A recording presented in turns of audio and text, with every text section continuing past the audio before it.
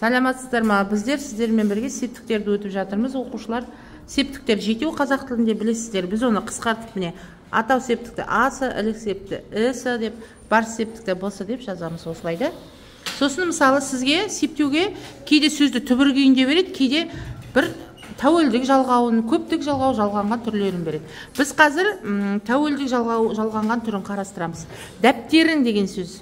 Сенің дәптерің тәуелдік жалғаудың ің деген міне жалғауын бөлек үстіне көрсетіп қойдым түбірін көрсетіп қойдым. Дәптерің деген бұл тәуелденіп тұрған зат есім екінші жақта жекеше түрі. Ә, бірінші осы атау септігінде тұрған дәптерің деген сөзді жеті рет қайталап жазып аламыз міне. Түгел қайталап жазып аламыз шатасып кетпес үшін. Одан кейін ілік септігінен бастап сұрақ қоямыз. Енді атау септігінде жалғау болмайды сондықтан оған жалғау жалғанбайды. Ілік септік кімнің ненің? Дәптеріңнің. Міне ның деген ол ілік септігінің жалғауы септік жалғау. Ә, сөзге екі жалғау қатар жалғанып тұр мынау тәуелдік жалғау мынау септік жалғау. Келесі барыс септігі. Кімге неге? Дәптеріңге. Барыс септігінде е дегенде жалғау бар. Ә, табыс септігі. Дәптеріңді.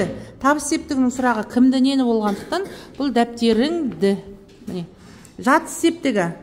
Кімде неде? Қайда? Дәптеріңде.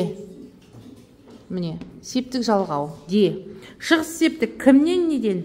Дәптеріңнен дәптеріңнен көмектес септік кіммен немен? Дәптеріңмен болды оның ешқандай қиындығы жоқ. Міне ә, сіз тәуелдеулі сөзді септеп үйрендіңіз. Енді қазір жанына көптік жалғауы бар сөздерді септеуді көрсетемін. Біз енді ары қарай дәптерлер деген сөзді септейміз. Дәптерлер деген сөз бұл көптік жалғауы жалғанып тұрған ә, зат есім. Түбірі дәптер лер көптік жалғау. Атау септігінде жалғау жоқ болғандықтан дәптерлер осы күйінде қалады.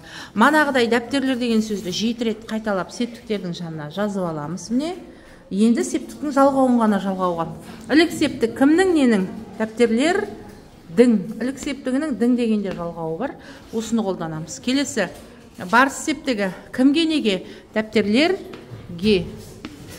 Келесі. Табыс септігі. Кімді нені дәптерлерді. Не? Келесі. Жатыс септігі. Кімде неде?